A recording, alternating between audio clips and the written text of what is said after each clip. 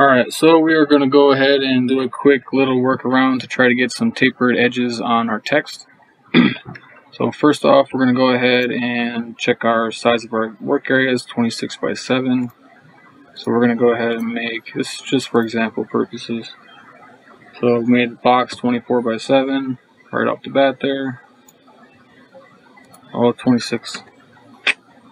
There we go. That looks better. Alright, so 26 by 7. So we got a box around our work area. Just gonna go ahead and select the text. Um, we're just gonna do something simple. Hello. Make this a height of four, let's say 4. Go ahead and make it 5. Just to make it easier for everybody following along. Alright, so now we're to go ahead and take our text, our original text, we're to offset it to the outside a quarter inch, so that's 0.25 inches. Select apply. Alright, that's what we're left with. Now we are going to go ahead and we want to pocket all the material on the outside of this. I'm going to select over to here, toolpath. We got a 201 bit selected. We want to pocket.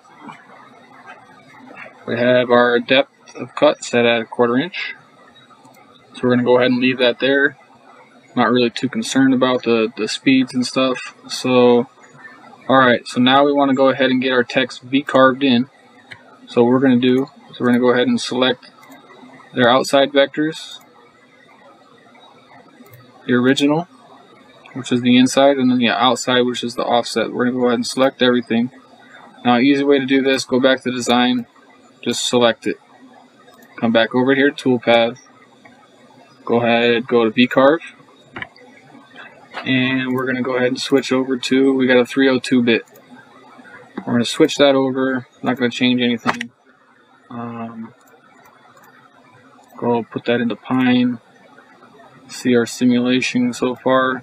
Okay, so right now, we have our pocket cut around here, around our letters. We have our V-bit tapered edge set, but we have this skin left around the outside edge. So what we're going to do, we're going to go ahead and come back in here, now selecting that outside profile that we offset originally, we can go ahead and select all that stuff.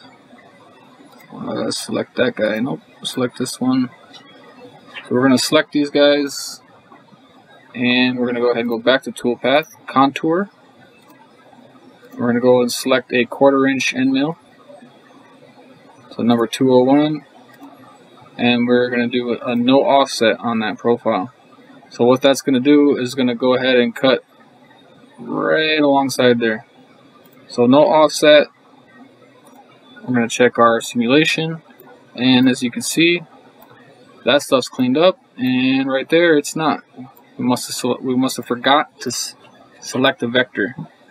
Alright, so let's go back over here. Yep, as you can see, it's not selected.